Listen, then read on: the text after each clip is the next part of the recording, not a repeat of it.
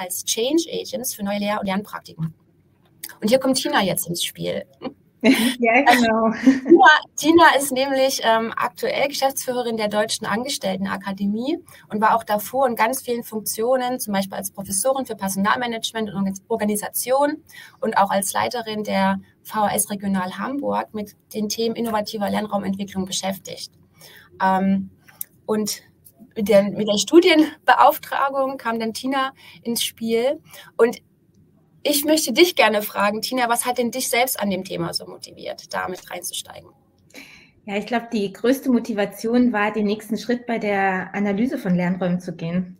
Also wir haben ja, Anne und ich haben schon seit 2015 in den ersten mhm. Arbeitsgruppen Lernraumgestaltung zusammengearbeitet und sind auch an den Punkt einfach gekommen, genauso wie du es geschildert hast, Anne, dass wir gedacht haben, was passiert eigentlich in Hochschulen, ähm, wenn, wenn Lernräume dann gestaltet sind? Also wir hatten ja das große Glück gehabt, auch äh, tatsächlich PionierInnen und Pioniere dabei auch zu begleiten bei ihrer Lernraumgestaltung. Und die Frage jetzt wirklich, inwiefern sind diese innovativen Lernräume auch in der Lage, so einen weiteren übergreifenden Veränderungsprozess an Hochschulen auszulösen? Riesenmotivation. Ich hatte total viel Spaß und ähm, darf euch jetzt äh, auch ähm, mit ein paar methodischen Einblicken, wie haben wir uns eigentlich dieser Frage gemeinsam dann genähert und welche Lernräume durfte ich mir dann auch angucken. Deswegen, Stefan, gerne einmal zwei Folien weiterklicken. Ähm, genau, Pioniere auf dieser Reise der Lernraumgestaltung waren auf jeden Fall die Hochschule der Medien in Stuttgart ähm, die sich früh schon auf den Weg gemacht haben, mit ihren Lernwelten sich dem Thema innovative Lernraumgestaltung zu widmen. Und die Hochschule Heidelberg, die ähm, ja sehr, sehr innovativ nicht nur bei Lernräumen, sondern auch in ihrem Lehrkonzept und Lehr-Lernkonzept sind. Und interessant war dann auch noch mal so ein bisschen auch als kontrastierendes Beispiel die Leuphana mit reinzunehmen und ähm, da einen ganz anderen Fokus nochmal zu bekommen. Aber ich will gar nicht zu viel vorwegnehmen. Auf der nächsten Folie sehen wir nämlich einmal noch, wen ich eigentlich innerhalb dieser drei Fälle befragt habe. Insgesamt fand die Studie im letzten Jahr statt, so zwischen Oktober und Dezember habe ich alle diese drei Hochschulen bereist und hatte das große Glück, auch wirklich auf eine große Unterstützung auch zu kommen und ähm, aus den zentralen Stakeholdergruppen, die sich nämlich mit Lernraumgestaltung beschäftigen, was ja ein sehr partizipativer Prozess ist, sind 17 Interviews entstanden. Zum Teil mit Hochschulleitungen, zum Teil aber auch mit Lehrenden und ganz wichtig, und das waren wirklich inspirierende Interviews auch mit den Studierenden, die natürlich ganz wesentliche äh, Akteurinnen und Akteure bei der Lernraumgestaltung sein sollten und auch in den Beispielen auch tatsächlich sind. Und die ersten Einblicke, Stefan,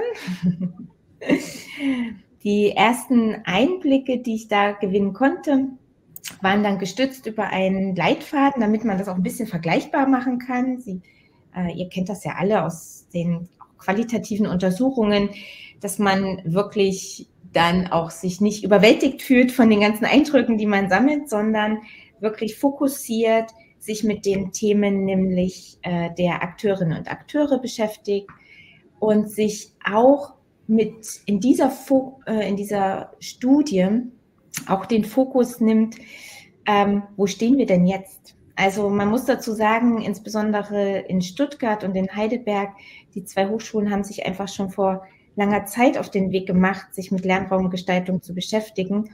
Und da war es natürlich total interessant zu gucken, welchen Stellenwert hat eigentlich die Lernraumgestaltung, welchen Bekanntheitsgrad hat, haben die Lernwelten ähm, in Stuttgart zum Beispiel und inwiefern beeinflusst das die Entwicklung der Strategie in den jeweiligen Hochschulen. Und ich möchte euch jetzt einmal mit ein paar Fotos und ein paar Eindrücken auch äh, zeigen, was ähm, ich gelernt habe in den drei Hochschulen und was sie eigentlich auch so einzigartig machen. Einmal hier seht ihr die Lernwelten der äh, Hochschule der Medien in Stuttgart. Und die haben das Besondere, dass sie eine sehr forschungsorientierte Lernraumgestaltung ähm, adressieren und auch verfolgen und dabei wirklich auf eine sowohl strukturelle als auch kulturelle Verzahnung des Themas mit ihrer Lernentwicklung und Lernstrategie der gesamten Hochschule das verfolgen.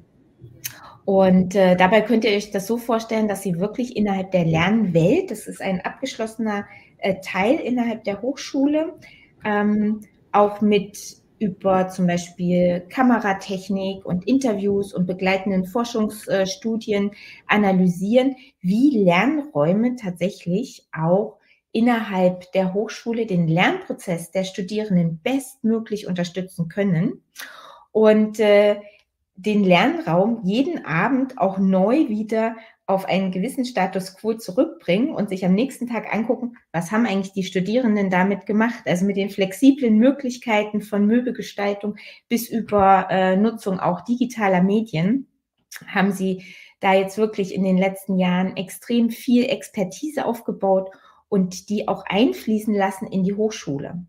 Und nun ist das natürlich eine innovative Lernraumgestaltung, aber unsere Frage war ja, wie wirken diese Lernräume denn in der Hochschule? Und da ist es ganz interessant, Stefan, wenn du eine Folie weitergehst, ähm, dass diese Lernräume tatsächlich innerhalb der Hochschule auch ähm, einen Ausstrahlungseffekt haben. Mittlerweile gibt es schon ein zweites Gebäude, in dem auch mit neuen, ähm, ja, mit neuen Lernwelten und auch neuen Möbelsettings experimentiert wird. Es gibt da auch eine Kooperation mit einem Möbelhersteller zum Beispiel, um wirklich nah an den Bedürfnissen der Studierenden dran zu sein. Und was aber noch viel wichtiger ist, dass sie auch äh, zunehmend mehr öffentliche Räume, also zum Beispiel im Zugang zur Kantine oder zur Mensa ähm, oder auch auf den Fluren mit diesem Ansatz der kollaborativen Arbeitsweise, geschützte Räume schaffen für ihre Studierenden, aber auch für ihre wissenschaftlichen Mitarbeitenden. Dass sie also versuchen, aus diesem einen Raum der Lernwelt herauszukommen und Gestaltungsprinzipien in den öffentlich zugänglichen Räumen, also die sind ja alle öffentlich zugänglich, aber wirklich auch auf Fluren und in den Übergängen zwischen Seminarräumen hier diese Gestaltungsprinzipien auch adaptieren. Und seit zwei Jahren, ähm, das sehen wir dann auf der nächsten Folie, experimentieren sie jetzt auch schon mit einer neuen Art von Arbeitswelt. Und das finde ich ganz spannend, dass sie also versuchen, die Prinzipien der Lernweltgestaltung von Flexibilität, ähm, Kollaboration, ähm, Kommunikation, Zusammenarbeit auch in ihre eigenen Arbeitswelten zu überführen und hier zu adaptieren. Und hier seht ihr zum Beispiel auch, was ich ähm, ganz charmant finde. Also einfach so die Möglichkeit, wir kennen das alle, diesen kleinen Container, der da rechts unter dem Tisch steht, der ist nicht mehr nur ein Container, sondern auch ein Hocker, den Sie wirklich flexibel dann auch zu kleinen äh, Besprechungssettings zusammenräumen. Ein kleiner Aspekt, aber diese Denke, wie können wir eigentlich unsere Arbeitswelt auch in Zukunft nochmal anders gestalten, finde ich total spannend. Und was heißt eigentlich wirklich ähm, Shared Spaces äh, innerhalb der Arbeitswelt? In Heidelberg hingegen, das sehen wir als nächstes Beispiel, ähm, ist das Core-Prinzip tragend für die Hochschule. Da wird ähm, wirklich eine Flexibilisierung der gesamten Curriculumstrukturen auf fünf Wochen fokussierte Lernphasen in die Räumlichkeiten übertragen. Und das finde ich ist eigentlich so ein ganz tolles Beispiel, wo eine Strategie von Curriculumsentwicklung, Praxisnähe, ähm, flexiblem Studium sich auch in den Räumen niedergeschlagen hat und man sehr gut und sehr schön sehen konnte innerhalb der Hochschule auf den nächsten Folien oder auf der nächsten Folie, dass auch hier, ihr seht das, das sind zum Beispiel auch äh, Flure, die ganz anders jetzt gestaltet sind und tatsächlich auch als Arbeitsphasen für die Studierenden genutzt werden. Und was das Besondere eigentlich in Heidelberg noch war, ist, dass die Studierenden im nächsten Abschnitt, äh, Stefan, sich nämlich auch selber mal in einem Projekt damit beschäftigen konnten, was ist eigentlich der perfekte Lernort für mich? Wie sieht der aus? Und äh, wie ähm, kann das sozusagen in, in der Hochschule auch adaptiert werden. Und man sieht hier, dass es zum einen ein, eine äh, Liegefläche geben sollte, die aber gleichzeitig, ihr seht das auf dem Foto links daneben, auch gleichzeitig ein Stehtisch war. Und die Studierenden haben wirklich frei ähm, drüber nachgedacht, wo möchte ich eigentlich lernen und was brauche ich an dem Ort, wo ich lernen möchte, ähm, an Unterstützungsmöglichkeiten. In der Studie, die Anne auch nachher nochmal im Chat posten wird, findet ihr noch ganz viele andere Fotos und auch Beispiele, äh, wie Studierende sich ihren perfekten Lernraum ähm, gestalten würden. Und die Hochschule, ähm, die Leuphana Hochschule als nächstes Beispiel, ja, die hat sich eigentlich erst vor anderthalb Jahren auf den Weg gemacht, sich wirklich mit neuen Lernwelten zu beschäftigen, Teil eines Förderprogramms auch des Stifterverbands und ähm, haben hier Transformationsräume gegründet. Und die Transformationsräume sind sehr zentral auf dem Campus gelegen, waren früher eine Beratungsstelle äh, gewesen und durften sozusagen frei gestaltet werden von Mitarbeitenden, aber auch von Studierenden und von ganz vielen ähm, auch ja, studentischen Initiativen, die sich diese Räume angeeignet haben. Und ich sage tatsächlich angeeignet, weil man sieht ein wildes Sammelsurium von Möbeln. Da ging es gar nicht darum, so sozusagen in, in Möbel oder unterstützende Medien zu überlegen, sondern diesen Raum mit einer Atmosphäre zu gestalten, die einen hohen Grad an Willkommenskultur ausstrahlt. Und da gibt es zum Beispiel das sieht man ähm, auf der nächsten Folie. Da gibt es zum Beispiel eine äh, Kaffeebar, wo der Kaffee wirklich äh, umsonst ist. Ähm, und sozusagen jeder auch mal was in die Kaffeekasse reintut. Aber die Frage ist gar nicht, wer bezahlt denn dafür, sondern die Frage ist eher, wir sind hier eine Gemeinschaft, die sich gegenseitig unterstützt und tragen diesen Community-Gedanken in uns und wollen gemeinsam diese Räume, die sehr offen sind, sehr transparent sind, gemeinsam nutzen, um Initiativen zusammenzubringen, die normalerweise auf dem Campus sehr verteilt ähm, nur zu finden sind oder nur Räume finden.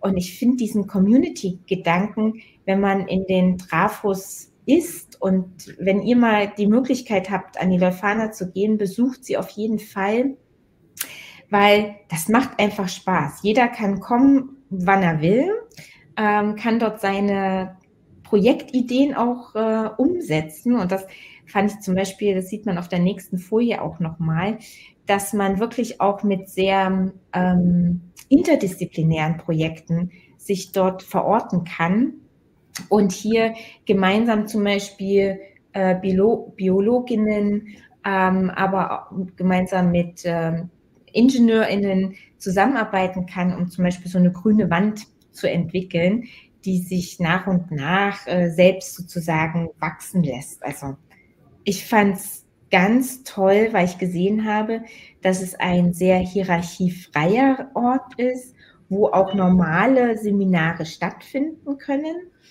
Ähm, aber die Kultur und der Kontext einen so starken Fokus auf diesen Ort haben, dass dort einfach eine andere Art von Lernen stattfindet, nämlich Lernen in Communities. Und das ist ganz großartig. Danke dir, Tina. Das war, also man spürt, wie du das auch, den Besuch dort genossen hast und, und wie viel du mitgenommen hast und inspiriert da auch wieder äh, gegangen bist mit vielen Ideen ähm, und auch tiefen Gesprächen, die du dort hattest. Da kommen wir gleich nochmal dazu. Ähm, jetzt war das ja tatsächlich ein Deep Dive in drei ganz spezielle äh, Beispiele, die wir uns zusammen rausgesucht haben, wo wir eben genau erhofft haben, diesen, diesen, diese transformative Kraft zu eruieren. Und deswegen meine Frage an dich, nachdem wir uns jetzt das alles näher angeschaut haben, welche transformative Kraft geht denn von diesen Lernräumen aus? Wie hast du das erfahren, auch in den Gesprächen? Und welche strategischen Eckpunkte können auch andere Hochschulen dafür übernehmen? Also was, ja, was lässt sich dann auch übertragen auf andere Hochschulen. Ähm, also ich bemühe da sehr gerne, um die, um das ein bisschen auch übergreifend mal ähm, zu formulieren, ganz gerne die drei Dimensionen der strategischen Ausrichtung von Hochschulen, der strukturellen Gestaltung von Hochschulen und auch der Hochschulkultur. Und äh, würde dich, Stefan, bitten, einmal die nächste Folie nämlich aufzuzeigen. Diese transformative Kraft gestaltet sich nur im Zusammenspiel von ähm, wirklich der, der Abstimmung zwischen der Strategie, die ich verfolge mit den Lernräumen. Und da sehe ich beispielsweise übergreifend wirklich, dass es äh, zunehmend mehr Anforderungen der zukünftigen Arbeitswelt sich wirklich innerhalb der Hochschule ähm, darstellen lassen und dass Lernräume nicht mehr nur genutzt werden, um ähm, dort Seminare und Vorlesungen zu halten, sondern dass es wirklich auch darum geht, Studierende mit den Anforderungen der Arbeitswelt in der Zukunft zu konfrontieren und das nicht nur in das Curriculum zu integrieren, sondern auch in die Gestaltung der Lernräume. Und diesen strategischen Gedanken mitzunehmen, das fand ich ähm, in allen drei Beispielen sehr, ähm, ja, sehr signifikant hat sich das eigentlich äh, gezeigt, dass man nämlich darüber nachdenkt, wie können wir wirklich Future Skills, das ist ja auch eine große Debatte, äh, nicht nur ins Curriculum übertragen, sondern auch in die Erfahrung von Lernen und in die Erfahrbarkeit von Lernen für Studierende ähm, zeigen. Und das Ganze zeigt sich aber auch in der Struktur von Hochschulen, nämlich darin, dass man sagen kann, dass sich ähm, Hochschulen bemühen oder die drei Hochschulen jetzt auch bemüht haben, eine Durchlässigkeit ähm, herzustellen. Dass wir weggehen von diesem Silo-Gedanken, dass wir äh, weggehen davon, dass es nur noch einzelne Disziplinen sind, sondern dass Lernräume Orte sind, wo man interdisziplinär zusammenkommen kann und die Gestaltung von Lernräumen natürlich das auch ermöglichen kann. Also, dass man sozusagen wirklich es schafft, durch die Flexibilität von Lernräumen auch interdisziplinäre Zusammenarbeit, das strukturell zu verankern, dass man hier also eine Durchlässigkeit äh, in den Fakultäten, Dekanaten und Fachdisziplinen herstellen kann. Und das hat alles ganz viel was mit der Kultur zu tun, ähm, der Kultur und der Anerkennung von Interdisziplinarität, von Diversität auch in der Zusammenarbeit, dass wir die, ich will das gar nicht immer so bemühen, aber wirklich die großen Herausforderungen der, der Zukunft, wie jetzt so Fachkräftemangel, was mich gerade total umtreibt, oder, oder Nachhaltigkeit, was wir wirklich auch in, in Bildung zunehmend mehr auch stärker integrieren müssen. Das schaffen wir und das schaffen auch unsere Studierenden in Zukunft nur, wenn sie gelernt haben, sich auf andere Disziplinen einzulassen. Wenn man gelernt hat, andere Sprachen anzuerkennen.